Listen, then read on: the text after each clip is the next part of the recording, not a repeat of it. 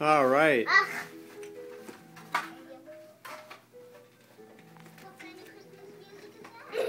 All right. Got a little Charlie Brown Christmas going on. Finn doesn't seem exhausted. Jilly's wiped out from Christmas tree ornaments. Mommy is mommy's putting boxes away. Sorry, mommy, we Yeah, make her do one's that. like circa 1959. Nice. You gonna hang it up? Oh, yeah. All right. This is a really- Well, there's our tree, top to bottom, looking awesome as usual. We'll get this last ornament going up. Go ahead, mommy.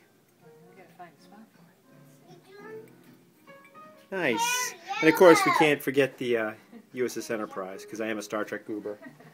But there we go, the tree.